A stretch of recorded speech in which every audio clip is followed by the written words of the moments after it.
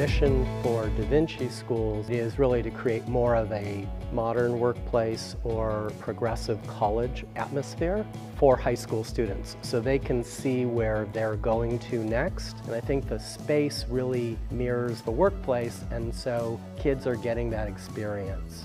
Our learning process is definitely not traditional. We are project-based school, so we are constantly doing projects and we're not just sitting in a classroom and taking notes.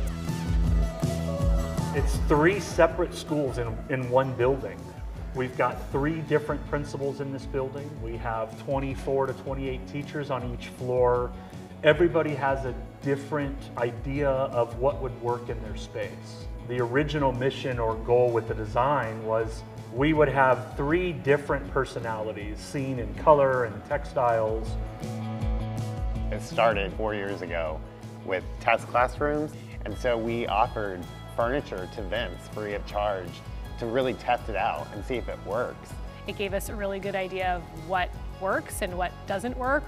Teachers and kids could experience it, and I think that made our teachers feel a lot better about making the decisions we made ultimately.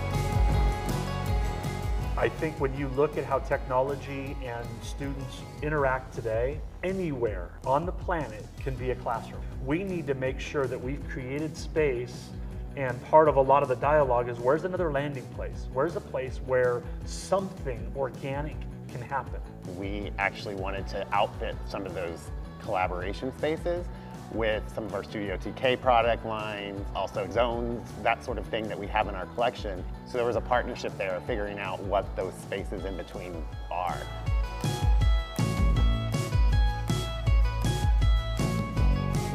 It doesn't really look like a normal high school, I guess you can say. It really fits us as a school, mm-hmm. and it really fits like what we need and how we are. I think as a school we're very flexible. What I really like about it is the fact that there's open space and that you can move the things. And depending on what time of day, different rooms are available. So when I'm here in the morning, I'll be in one of the office pod things yeah. doing, maybe catching up on some work or just mm -hmm. talking with friends. And maybe during lunch I'll be in a classroom, like the classrooms are comfortable to sit in.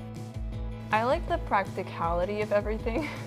um, when I first came into the school, I'm like, look at these desks. And they have like little hooks underneath them for my bags. I am the woman of a million bags. So just little things around the campus that I feel that were just kind of tailored to us and tailored to students that make me feel awesome while I'm working in the building.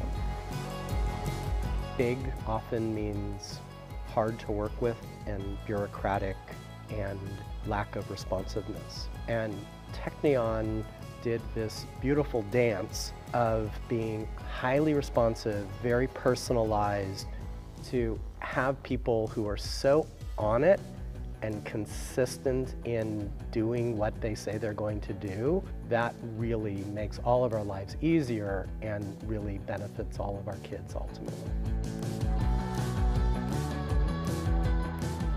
Well, when I graduate, I'm jumping into a whole lot of unknowns, so there is a little bit of fear behind that, but also a lot of excitement because I do feel that coming to school here has prepared me for working in the real world.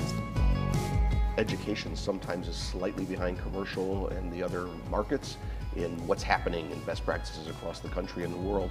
So we're, we're looking here as a, as, a, as a test study, if you will. We're going to use these examples and pass that information on to the other high schools and colleges that are asking us for this information.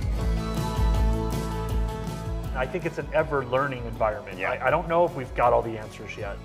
We're not done. The purchase isn't over and where the story is done we're going to continue to have a relationship. We're going to continue to reach out to each other for needs and ideas and new products. And that to me is when we can create an environment that can do something today and something different tomorrow, I think we've hit a home run.